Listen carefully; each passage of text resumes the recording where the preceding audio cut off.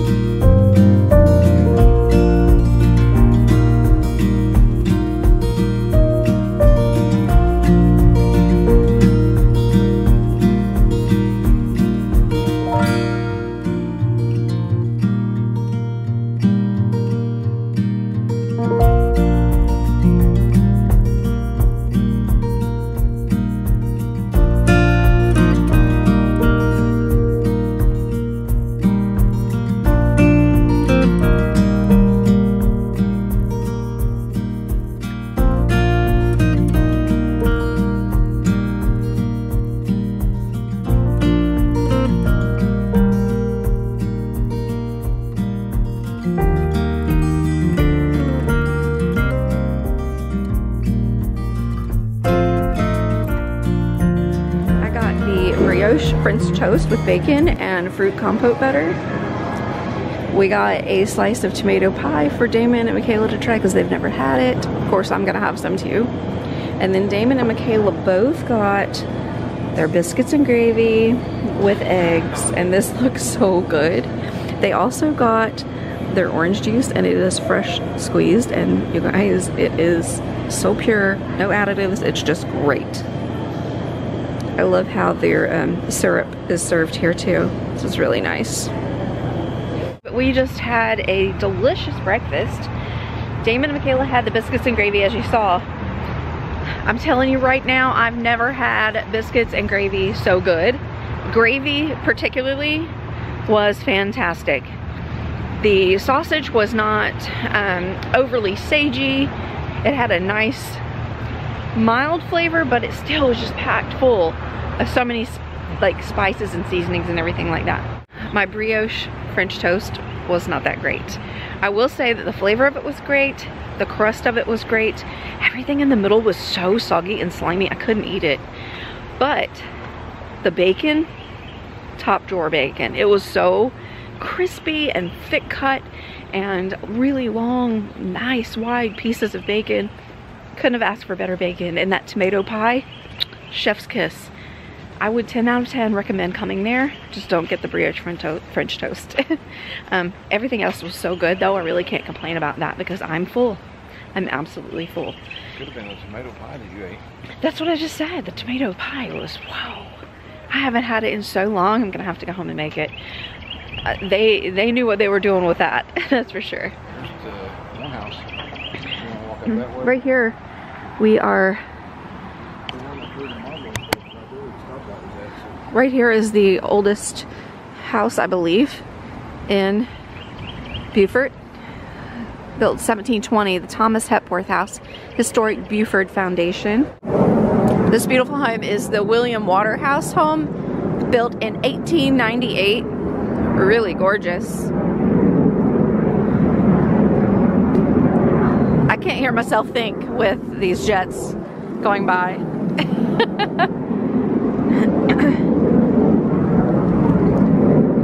That's probably the loudest I've heard it since we've been here. Now it just wraps around. yeah. That's gorgeous way back there. Wow, look at the top of that house. Ow. I just got slapped in the face with Spanish moss. ah, is so crazy. You, if you guys watched my tour when we did the golf cart tour, this is one of the first houses that we looked at where they were growing cotton in the back. But here's the back of that house from a different angle. Here's the cotton, and there's the kitchen house. This is also the house that is the Prince of Tides house. It's the mom's house.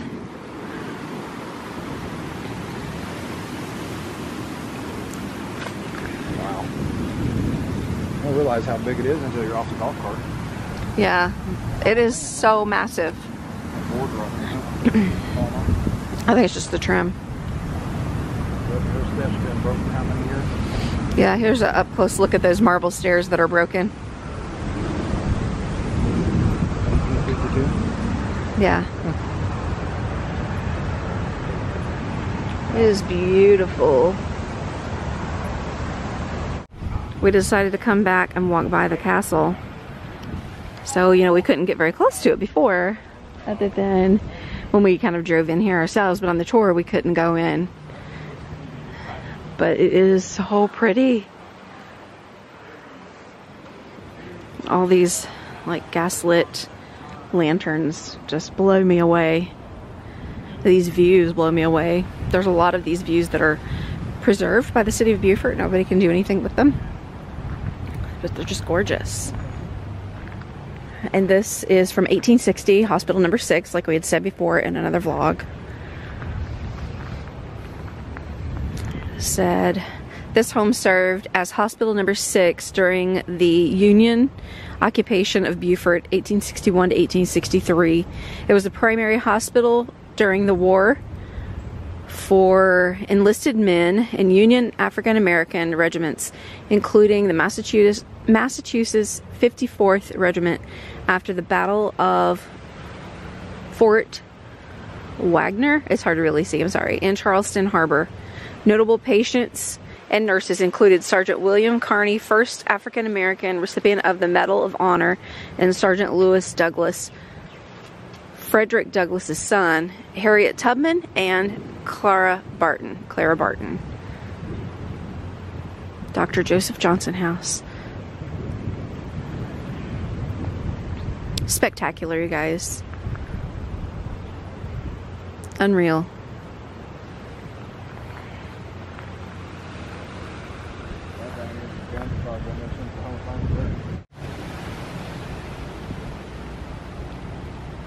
This view is gorgeous.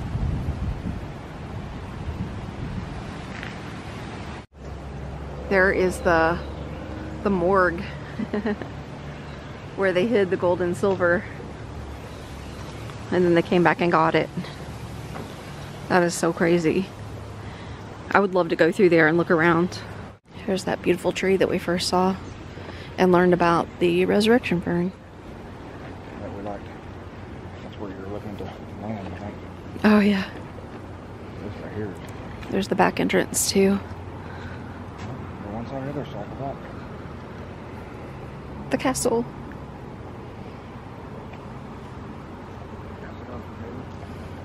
Yeah.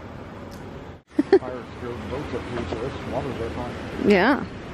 saw it yesterday, it wasn't like it. Water look how deep it is. Yeah. It's almost dry What the heck is that? I'm going back. Yeah, this is almost dry yesterday, so. Whew. dock there. I'm not gonna- So the pirates used to bring their boats up through there and park them right here. and Get out, whatever the word is. Steal people's stuff. Pilferage and everything, and then they get- I was trying to figure out what the heck that is back there. There's like ironworks or something. Do you see it? Yeah. Somebody's having a yard of the castle, so what's the matter? Representation of the pirates, I bet. It looks like it. That is too crazy. yep. Neat. And this house right here also owned these houses, and these houses were the slave houses for this home over to our left. The cable's holding, you see it right there, that limb? It's got a cable going all the way up, holding that limb up off of their house. We talked about the preservation of these trees in another video, but they've got to take every measure possible. These are where those palm trees were across the way. That's their backyard. Yeah, I've got to do everything possible not to cut down or disturb any part of the tree. And that's pretty neat how this one goes like an arm over the driveway. Our tour guide, I believe, said something to the fact that he thinks that they probably braced it as it was growing for that to happen. But it was really cool, huh, baby? Yes, ma'am. Looks like a guest house back there. This is another gorgeous home. They've got the original blown glass windows in this one. This home on the end here is actually going through historic restoration, so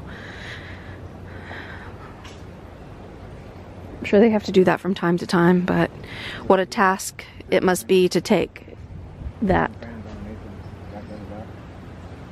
On the bottom, I can them. to take that on has been designated a National Historic Landmark. This site possesses national significance in commemorating the history of the United States of America. 1974 National Park Service, United States Department of the Interior. So, James Robert Verdier House. Some of these people I've never heard of. I'm not like a major history buff, but I'm enjoying learning more about it. They give us a lot of content to look up when we get home and see more about the people surrounding these homes. We came by this last night and it was so pretty with all those lights hanging up on the trees. It was a really pretty house. Good morning. Hope you guys are enjoying this little walking tour with us. It's stuff that we've already driven around to see, but it's just a completely different vibe when you're out walking and enjoying it. The doggy around the ball. It's a little park over here. Moss on lines.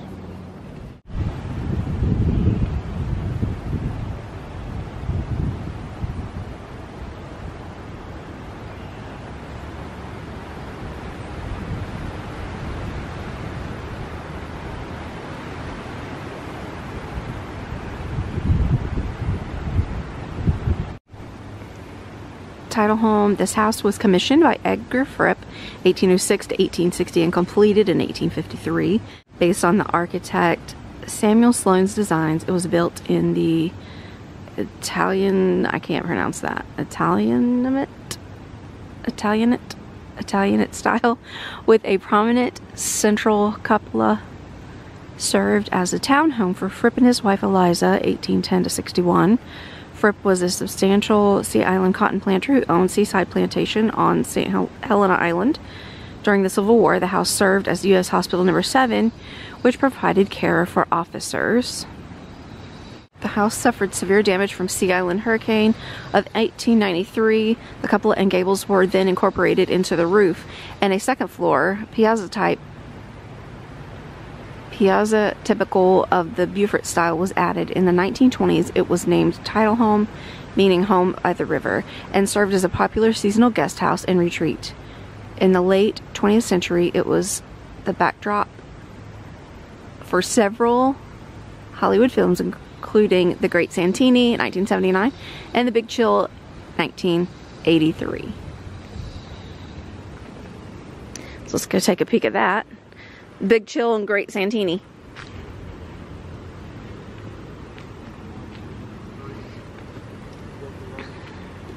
Yep. So here we go. All of these, there's another house here and one there, all in that whole section. Yeah. Beautiful, beautiful homes right through here. Now we need to go watch The Big Chill in The Great Santini. Because the sign said those were the backdrops for those two films.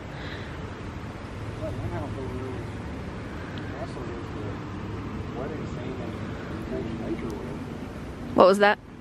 One, the castle had the front yard or whatever, backyard was a wedding scene from that Force of Nature, Ben Affleck and Sandra Bullock. Okay. I mean, with it. Oh, let me come down.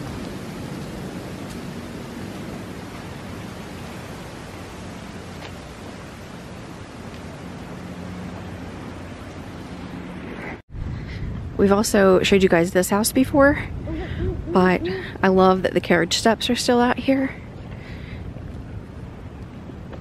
This is BB Sam's house, number two, 1852. Was constructed, and these columns were built eight years before the war, nine years before the war, to distract cannons and things like that from actually hitting the home. So beautiful. I love that door. I love those little carriage steps too. Absolutely gorgeous. I love every bit of it. They do have a pretty backyard too. Wow, little arch gateways. Trying to be above, like they're, uh, yeah. Guest house is back there. I'm really surprised this doesn't have all those oyster shells in it, as old as the stuff is right here. Beautiful backyard though. A lot of different types of trees and stuff. A lot more homes here have those the blown glass than I thought. Because the way we were told that they eventually melt and the top part of the glass is really thin while the bottom gets really thick in the heat. And um, I, I see a lot of houses still with it though. Even the place we had breakfast this morning had some of it. Like this back window has got it on that top pane. A lot of these do. I'm just not gonna film close to their windows in case they're home, but like this little carriage post.